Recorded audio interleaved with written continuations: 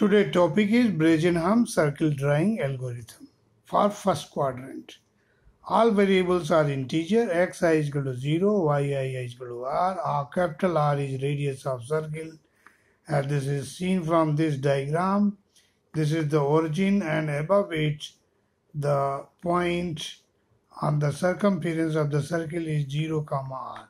The parameter delta i is equal to 2 into 1 minus r limit is equal to 0 plot xi comma yi. If yi is less than or equal to limit then go to step 4 if delta i less than equal to 0 then go to step 2 if delta i greater than 0 then step 3 if delta i is equal to 0 then 20 so on step 2 we have to do this is small delta is equal to 2 delta i plus 2 i minus 1.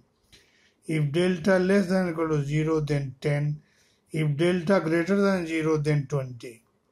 On step 3 delta dash this is equal to 2 delta i minus 2xi minus 1. If delta dash less than equal to 0 then 20. If delta dash greater than 0 then 30 on label 10 xi is equal to xi plus 1 delta i is equal to delta i plus 2xi plus 1 go to 1 at label 20 xi is equal to xi plus 1 yi is equal to yi minus 1 delta i is equal to delta i plus 2xi minus 2i plus 2 go to 1 and on level 30 yi is equal to yi minus 1 delta i is equal to delta i minus 2i plus 1 go to 1 at level 4 and this is finished. The next algorithm is simple ordered edge list algorithm for filling area. For filling any closed area so the first step of this uh, algorithm is to prepare the data. Determine for each polygon is the intersections with the half interval scan lines. Scan lines are uh, horizontal lines that is known as scan lines. A Bresenham or DD algo can be used for this.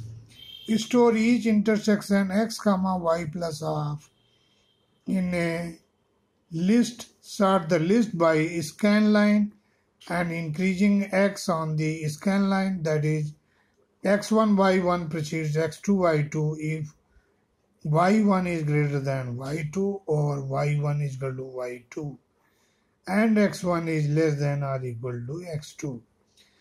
The second step of this algorithm is to scan convert the data.